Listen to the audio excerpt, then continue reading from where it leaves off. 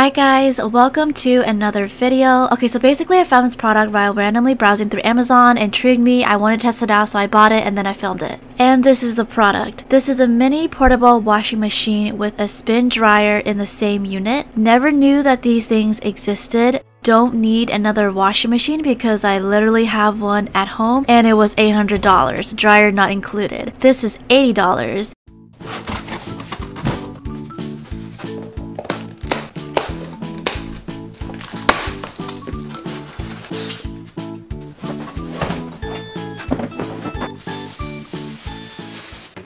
This unit came with a hose and an instruction booklet. Setting it up was fairly simple. Plug it in, duh.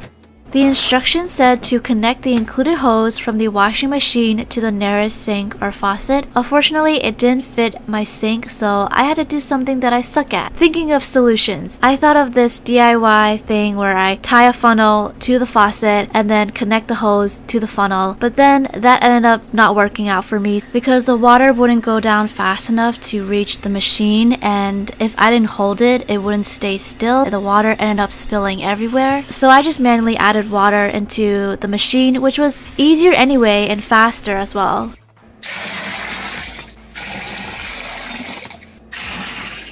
There wasn't any indication on how much detergent to use, so I just eyeballed it. I used about a tablespoon. There isn't a correct order on when to add clothes and when to add the detergent, so whatever works for you. To turn on the machine, you have to make sure that the second knob is on standard, and then on the first knob, which is the timer, you just set it to the amount of minutes you want. It's in 3 minute intervals. The maximum amount of time is 15 minutes. So this all depends on how many clothes clothes you're washing. So this machine can wash about 9 pounds of clothes, so that's pretty good for an $80 machine and I was pleasantly surprised with how strong this thing was spinning. You could just put all of the clothes in at once to save time, but I just wanted to show you.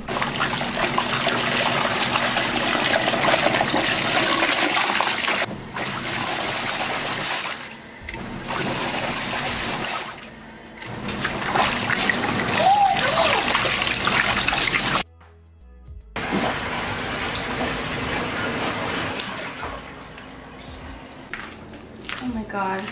Probably should have done this in tub. Don't make the same mistake as I did. I was ignorant with this, but there wasn't any warning in the booklet either. Basically, I didn't need to take out the drainage hose. I didn't need to drain any water until the washing was done. Originally, the hose was standing upright. This way, the water won't spill out because of gravity. I took it out because I thought that I had to drain out the water as it's washing. And that's why it flooded my bathroom. So some things I like so far about this is that you can open the lid and watch it washing, but definitely don't leave it out open for too long because it does splash. And you can see through it, you can see your clothes being washed, so I thought that was cool.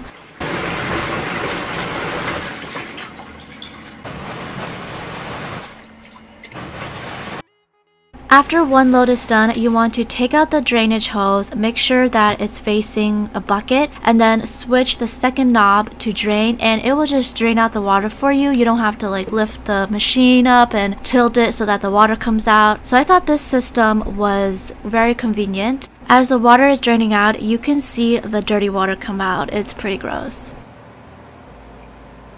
Naturally, at this time, you would transfer the clothes to the spin dryer, and the spin dryer does not use any heat. I don't really see myself ever using it because it's small and it can't fit a lot of clothes, probably at max two pieces of clothing. So I'm going to make slime in it.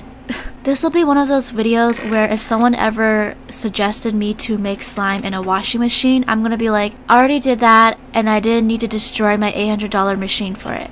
There is one problem. This dryer has holes in it and I understand why, but I didn't want to have to deal with the mess after. So I decided to put a slider bag in this and I will make the slime in the slider bag, seal it up. That way it won't be so messy. I don't think you guys are mentally prepared for the spin dryer. You need to be prepared at this moment, at this time, right now. Watch to find out what type of slime I'm going to make.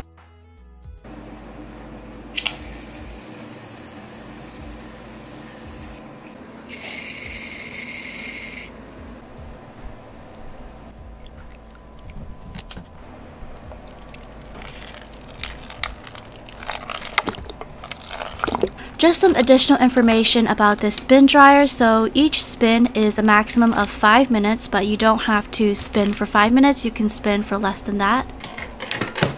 I'm scared. Okay, let's do it.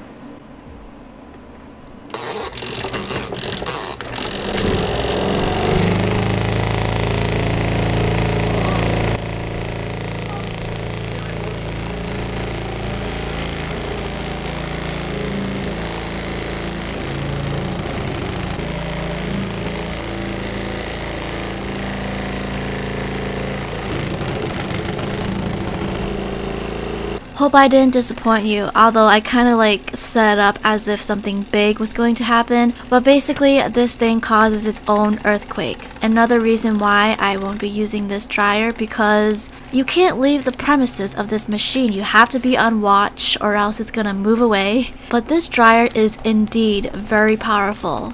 Very, very powerful. The slime has formed. I might have used a bit too much activator, but don't worry, I will fix it.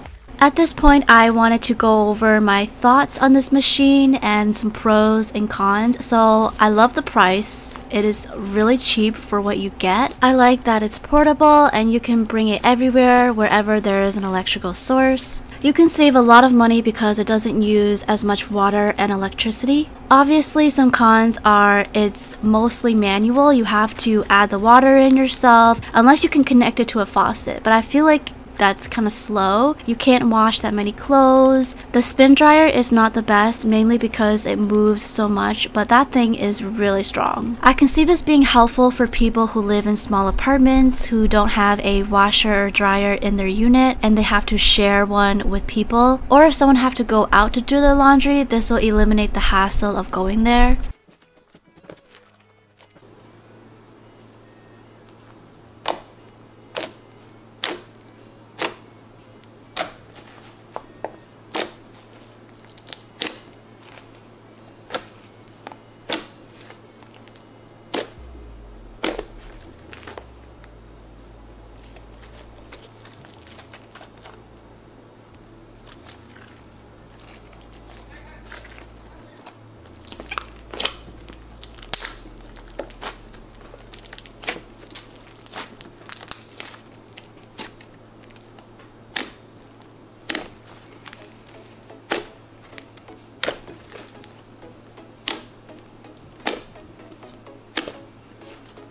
After attempting to fix it with lotion and glue, this is better than before but still kind of stiff. Still hope you guys enjoy this video. Thank you so much for watching. I will see you in my next one. Bye.